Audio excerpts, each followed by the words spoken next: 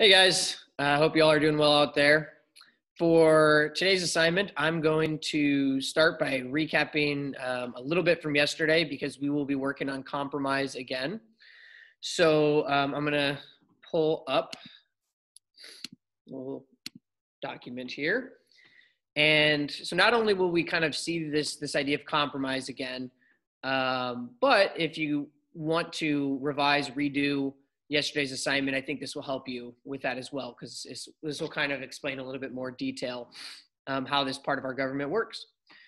So, we, what the the first half of yesterday's assignment was about was about the legislative branch, which is one part of our government that has people who create laws, right? And those people we typically call representatives because they are representatives from different states, right? Each state sends a certain amount of people um, to be in the, the national government, to be in the federal government, to help write those laws. Now, obviously, a state would tend to want to have more representatives because the more representatives you have, the more people you have that are going to vote for laws that are going to help your state, right?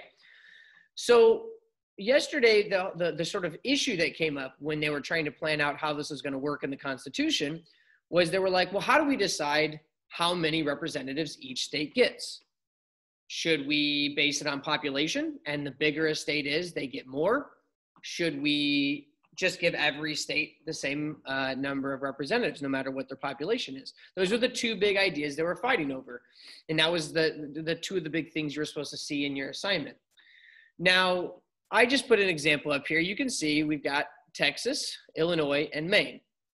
Texas has a population of 29 million. Illinois has a population of roughly 12.5 million and Maine has a population of roughly 1.5 million. Now, I'm going to have you do a stop and jot here in your notebook. And I want you to, just, to think who of those three states do you think would prefer to have the amount of representatives that each state gets be based on the population that each state has? Okay.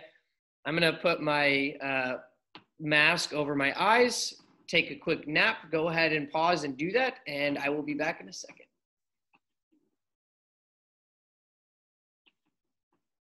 All right. It's a good nap. So, you guys have uh, jotted that down, and hopefully, you guys all said Texas because Texas has the biggest population of those groups, right? And so, a big state's going to want it to be based on population because that means that state gets to send more representatives to work in Congress in the legislative branch. Those are just this. When you say Congress or legislative branch, it's the same thing. They're synonyms. Um, they're going to send more representatives to Congress than many of the other states. So they're going to get more of a say in the laws. Okay. Uh, remember, I mentioned there was another idea that we just give all the states the same amount of representatives. Again, and take a quick nap. Go ahead and pause the video and jot in uh, your notebook which of those three states you think would like that plan the best.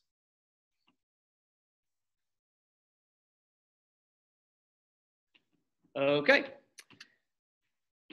hopefully you guys answered Maine. Maine has 1.5 million representative or sorry uh, people, their population living in their state. So if they if it was based on population, they would have very few representatives. Okay, so they would like it to just be equal because that just that's better than you know Texas having way more than them and Illinois even having more than them. That's the best plan for a small state like Maine. Okay, so, but those are two conflicting ideas, right? And this is a country that's trying to make decisions together. So they had to compromise to figure it out.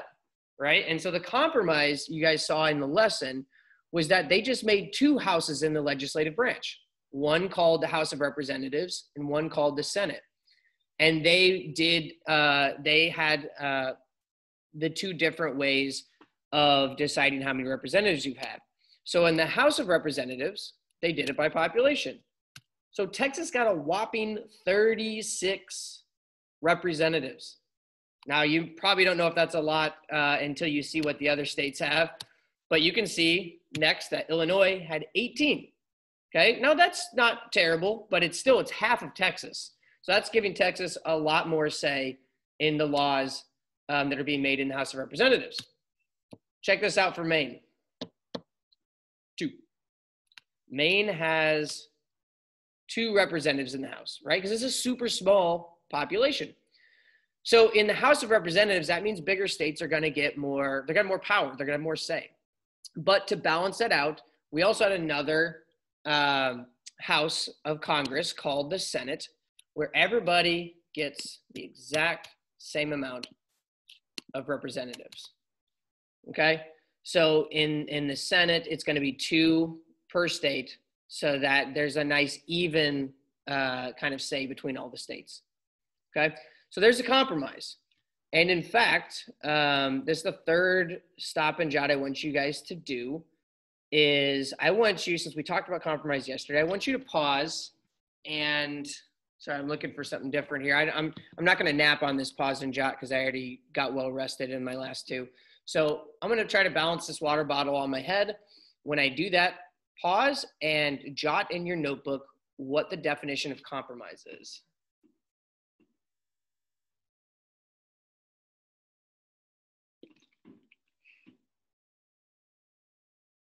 Okay, that didn't work, but I'm assuming hopefully you paused it sometime uh, during that. If not, pause it now um, and do it. But for those who have paused it and now are back in the video, uh, the definition, hopefully you had something along the lines of it's an agreement between two groups in which both sides have to give up some of what they want, but they also get some of what they want, right? Uh, so it's a way to make, to, to, it's a way to work together and come to a conclusion that helps both sides out. So uh, this obviously was a compromise because you did have one house that did say, "Hey, you're a bigger state, you have more people. We'll let you have a little bit more say there because it makes sense." But then we have another house that says, "But hey, we don't want these small states to get totally run over, so we're going to make it equal in this one, uh, and and make it so that you guys still get some say and some power." Okay, so uh, like I said, we're going to do compromise again today.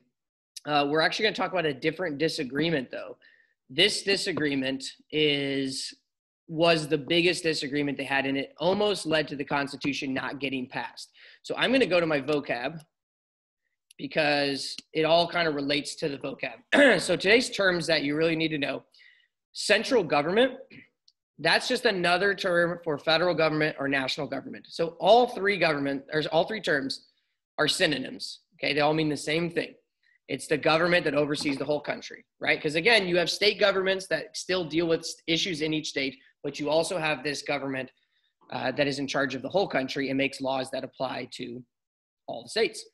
So central government's just another term for that.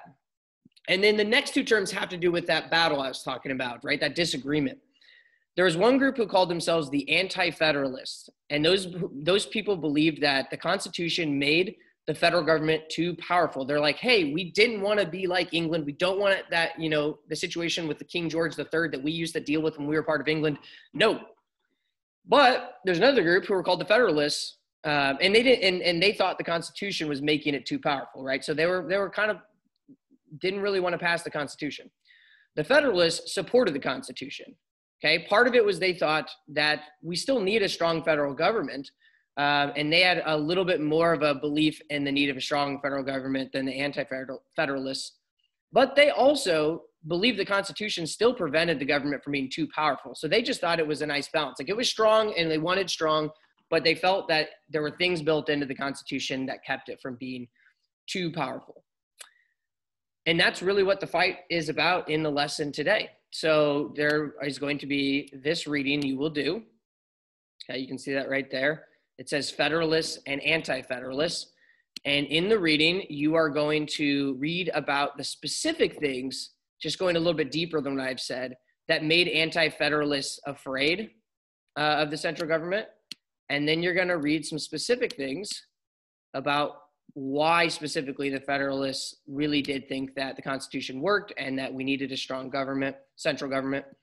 And then at the end, the compromise will be important for you to see how they, again, found a way to work together and get something done that gave each of them a little bit of what they wanted.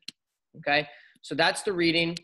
And then the assignment is called Who Would Say That assignment. And I gave you 10 hypothetical statements that you might hear somebody back then say. And for each one, you guys have to decide whether you think, does that sound like something a Federalist would say? or something an anti federalist would say.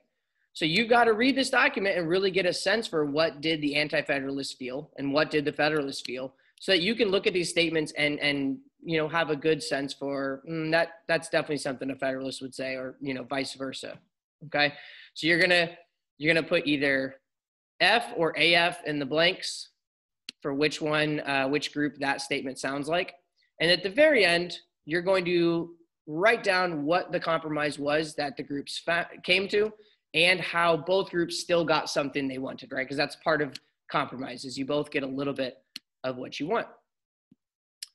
Okay. I believe that that is everything I wanted to cover. So we can go to work time now. Go ahead and do that reading and complete that assignment. And as always, let me know if you have any questions. All right. Have a good one, guys. Hey, guys. I just realized that I forgot to demonstrate the first um, one on the assignment the first statement, and I was uh, planning on doing that. So I wanted to just do that real quick and add this on to the end. So I'm going to go ahead and pull the share screen up. So again, uh, remember that this assignment has a bunch of hypothetical statements. And the idea is that for each statement, you need to think, does that sound like something a Federalist would say or an anti-Federalist? And so to do that, you want to really think about what did the Federalists believe? What did the anti-Federalists believe? Okay. So when you go back through the reading, hopefully the things you'll pick up on is that the Federalists supported the Constitution, the Anti-Federalists didn't. The Federalists believed that um, a stronger federal government was often necessary, and they also they also believed that the Constitution still did prevent the federal government from becoming too powerful, whereas the Anti-Federalists uh, believed that they did they did not want a super strong central government, which is another word for federal or national government, um, and they believed that this current constitution really was too powerful. Right. So you just go through each one, like number one, and it says the Constitution gives the federal government just a few powers that are very well defined. Okay.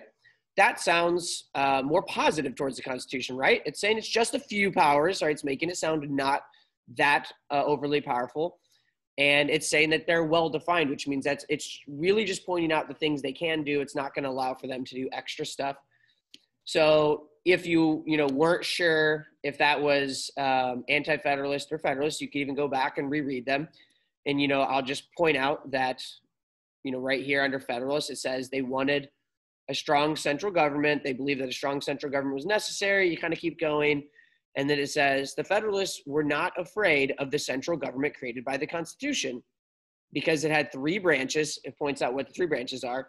Um, and it says that they would limit each other's power, right? So you're getting this sense here that, ah, the Federalists felt that the Constitution already did a good job of making sure that the central government didn't have too much power.